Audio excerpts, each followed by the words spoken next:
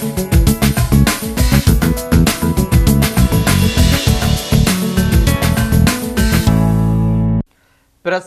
వాతావరణంలో వినాయక చవితి పండుగను నిర్వహించుకోవాలని జగిత్యాల డీఎస్పీ వెంకటరమణ సూచించారు. మండపాల్లో ఎలాంటి అసాంఘిక కార్యకలాపాలకు పాల్పడినా కఠిన చర్యలు తీసుకుంటామని హెచ్చరించారు. ప్రశాంత వాతావరణంలో పండుగను జరుపుకున్నప్పుడే ఆనందం వెల్లివిరుస్తోందన్నారు.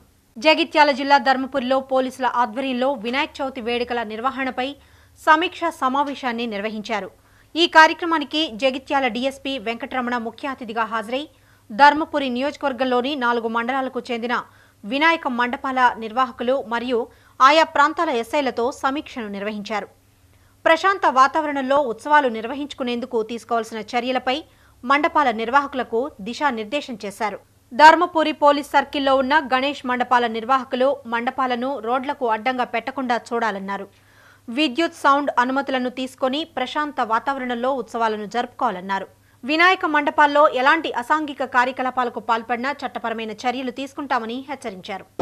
భక్తికి సంబంధం సంబంధించి కాకుండా వేరే వేరే ఎలాంటి కార్యక్రమాలు చేపట్టినా కూడా చట్టపరమైనటువంటి చర్యలు తీసుకోబడతాయి కాబట్టి అందరికీ మా విజ్ఞప్తి అందరూ కూడా క్రమశిక్షణ క్రమశిక్షణతో ఈ యొక్క తొమ్మిది రోజులు కానీ పదకొండు రోజులు కానీ వాళ్ళు ఈ కంప్లీట్ చేసుకొని మా సిఐ గారు ఎస్ఐ గారు సూచించినటువంటి సూచనలు పాటించాలని చెప్పి సందర్భంగా